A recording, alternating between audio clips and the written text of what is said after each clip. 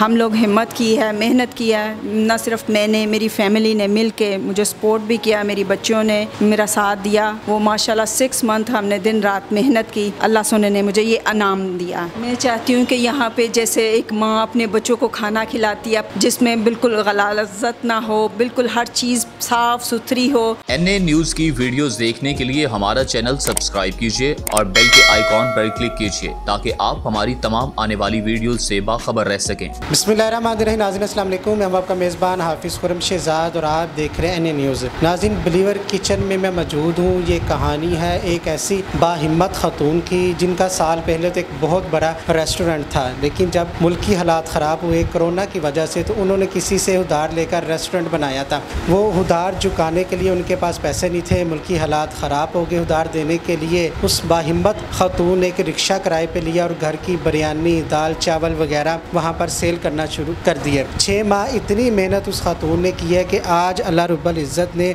उन्हें एक दोबारा से रेस्टोरेंट अदा किया है। मैं उस रेस्टोरेंट में मौजूद हूँ, बिलीवर किचन के नाम से ये रेस्टोरेंट बनाया गया और यहाँ रेस्टोरेंट की ख़ास बात यह कि यहाँ पर घर के खाने तैयार किए जाते हैं, जैसे वो रिक्शे में घर के खाने तैयार करके लोगों को सेल करती थी। और ख़ास बात यह भी है कि तांबे के बर्तन यहाँ पर यूज़ किए जा रहे हैं, जो पुराने ज़माने में यूज़ किए जा रहे थे, जो बादशाह और वज़ीर वगैरह यूज़ करते थे। और कहा जाता है, जो इन बर्तनों में खाता है तो वो ताकतवर रहता है। वो बाहिमत ख़तून मेरे साथ मौजूद है। कितनी मुश्किल उन्हें पेश आई दोबारा से अपना रेस्टोरेंट बनाने में और कितनी दिन रात उन्होंने मेहनत की, आइए इनसे जानते हैं। सबसे पहले तो आपको बहुत बहुत मुबारक हो माँ जी। अल्लाह ने दोबारा से फिर आपको रेस्टोरेंट दिया। रिक्शे से आप रेस्टोरेंट पर आई हैं तो कैसा महसूस करें?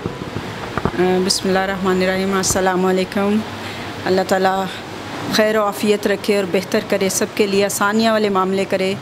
जैसे मैं चाहती हूँ, हम लोग हिम्मत की है, मेहनत की है, ना सिर्फ़ मैंने, मेरी फैमिली ने मिल के मुझे सपोर्ट भी किया, मेरी बच्चों ने मेरा साथ दिया। वो माशाल्लाह सिक्स मंथ हमने दिन रात मेहनत की और उसका एफर्ट ये अल्लाह सोने ने मुझे ये अनाम दिया। अल्हम्दुलिल्लाह मैं सद के जाऊँ, अल्लाह सोने के, कि वो सबकी सुनता है, मालिक है, वो राजिक है, वो सबको देता है। देर से आए सवेर से आए शुक्र अल्हम्दुलिल्लाह। अल्लाह सुने ने मुझे वो वापस मकाम दिया है अल्हम्दुलिल्लाह अल्हम्दुलिल्लाह। अल्लाह का करम एहसान है मेरा रब सोने का कि मैं यहाँ तक पहुँची हूँ। बिल्कुल जब आप हिम्मत नहीं हारते जब आप मेहनत करते हैं तो इसका सिला भी आपको ज़रूर मिलता है। अब ये बताएँ वहाँ तो आप बिरयानी वगैरह कौरमा वगैरह सेल कर रहे थे अब इतना शानदार आपने ये किचन ओपन किया। इसमें आप क्या रेस्टोरेंट में आप क्या सेल कर रही हैं? मैं चाहती हूँ कि यहाँ पर जैसे एक माँ अपने बच्चों को खाना खिलाती है अपने हाथों तैयार करदा खाने जिसमें बिल्कुल गलाजत ना हो बिल्कुल हर चीज़ साफ़ सुथरी हो। और मैं ये भी चाहती हूँ कि मैं जैसे ये तांबे के मैंने बर्तन लेके आई हूँ कि हम लोगों की अम्मियाँ हमारे घरों में होते थे चांदी के बर्तन होते थे तांबे के बर्तन होते थे। हमारी अम्मा बताती थी कि जब हम इसमें खाना पकाते हैं ना तो इसका स्क्रैच जो उतरता है ना वो हम हमें ताकत देता है हमें पावर देता है। और हम लोग ये आ, ये नॉन स्टिक बर्तनों में और इस वाली चीज़ों में लग गए लेकिन मैं चाहती हूँ मैं वापस अपनी अम्मा का दौर लेके आऊँ और सब के लिए सब के लिए मैं इसी चीज़ में खाने पकाऊँ और इसी को आगे लेके चलूँ ताकि हमारे आ, हमारे बच्चे हमारे अहबाब हमारे इर्द गिर्द के और ख़ास करके ये मेरे पास इधर हॉस्पिटल्स हैं वो बीमार लोग या किस तरह उनको ताज़ा तरीन घर वाली रोटी मिले घर वाला सालन मिले और सब कुछ वो जो चाहें मैं इधर रेडी करके उनको दूँगी इन ताला।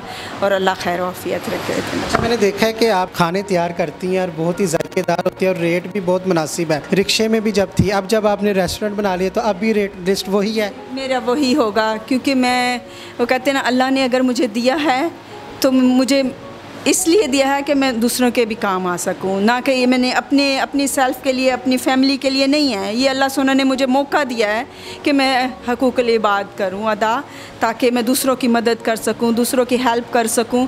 और मुझे सिर्फ़ इतनी क्वांटिटी में अल्लाह सोना देगा बंदे नहीं देते। बंदा कोई किसी को कुछ नहीं दे सकता। ये रब सोना देता है कि मैं खाने बना के आ, अच्छे तरीके से बेहतर से बेहतर खाने बना के तो मैं उनको प्रोवाइड करूँ और वो खाएँ उनमें अल्लाह ताला ताकत दे एनर्जी दे और अल्लाह सोना मुझे रिस्क देगा और राजिक तो रब सोना। ख़ास बात यह है कि मैंने लिखा हुआ देखा तंदूरी चाय आजकल वो लोग मिलती नहीं है आम तौर पर मिलती नहीं है तो वो किस तरह आप तैयार करेंगे? वो इन ताला तंदूर लेके आई हुई हूँ मैं उसमें तंदूर में वो मिट्टी के बर्तन रख के फिर उसको हीट अप करके फिर उसमें चाय इनहेल करेंगे उसके अंदर फिर इन ताला वो जस्ट ऐसे जैसे हम तंदूर में पका के चाय वो हम पी रहे हैं और पूरा वो हमारा वो कॉन्सेप्ट और वो हमारा वो सारा कुछ जो है वो हमें वो चाय पीने के एक एक सिप में लगेगा कि वाकई हमने कोई चीज़ एक कप कितने का मुझे जस्ट मैंने बताया है मुझे मेरी रूटीन वाली प्राइस मिल जाएगी मुझे बस वही है। मुझे ये नहीं है कि मैं उसकी अमाउंट बहुत सारी रख दूँ या बहुत सारा इस तरह कर दूँ नहीं। मुझे जस्ट मुतमिन मुझे अपने दिल को करना है, रब राज़ी करना है, बाकी सब। अच्छा बहुत आपने मेहनत की, दिन रात मेहनत की, आपके घर वाले बेटे भी, आपके शोर भी सब शामिल थे इसमें। उन खातन को आप क्या पैगाम देंगी जो हिम्मत हार जाती हैं? ख़ासतौर पर आजकल के नौजवान हिम्मत हार जाती हैं। कैसे मोटिवेट करेंगी उनको? मैं यही कहना चाहूँगी कि हमारे बड़े बुज़ुर्गों ने कहा है, हिम्मत मददा, मदद खुदा। जब हम हिम्मत और बड़े हौसले के साथ और अल्लाह की रस्सी को मजबूती से थामे रखेंगे तो रब सोना ऐसे ऐसे वसीले, ऐसे ऐसे ज़रिए, ऐसे ऐसे रास्ते पैदा कर देता है और ऐसे अपने नेक बंदे आपको मिला देता है कि आपको हर हर मंजिल आसान होती चली जाती है। फिर आप हिम्मत नहीं हारते, फिर आप अल्लाह का शुक्र अदा करते हुए नहीं थकते कि रब सोने का लाखों करोड़ों दफ़ा शुक्र अल्हम्दुलिल्लाह, अल्लाह सोने ने, अगर वो दिन नहीं रहे तो इन ताला आसानियाँ वाले पैदा किए हैं। इन मज़ीद बेहतर करेंगे और न सिर्फ़ ये, मैं चाहती हूँ जैसे मेरे लिए अल्लाह सोने ने आसानियाँ पैदा की, मैं भी दूसरों के लिए आसानियाँ पैदा करूँ ताकि मेरा भी दुनिया में, ये तो दुनिया है, यहाँ पर खाली हाथ आए हैं, खाली हाथ जाना है। अच्छा अमाल किया होगा, अच्छे नए काम किए होंगे तो इन वो हमारी आखरत में काम आएँगे। अच्छा रिक्शा मैंने देखा भी खड़ा है तो वो रिक्शा भी चलता रहेगा, रेस्टोरेंट भी चलेगा?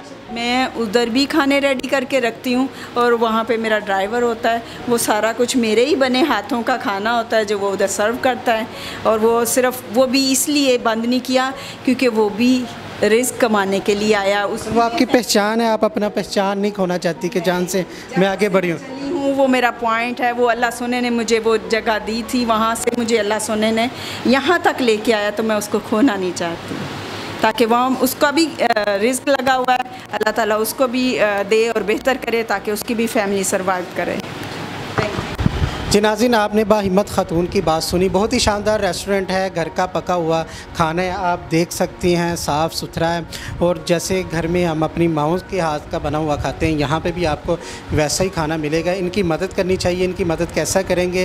इनकी मदद ऐसे करेंगे कि इनके रेस्टोरेंट पर आप आएँ, अपने दोस्त, अहबाब को भी यहाँ पर लेकर आएँ और घर का बना हुआ खाना खाएँ, जिससे आप बीमार भी नहीं हो सकते। इसी के साथ अपने मेज़बान हाफिज़ खुरम, शहजाद को दीजिएगा इजाज़त, अल्लाह के बाद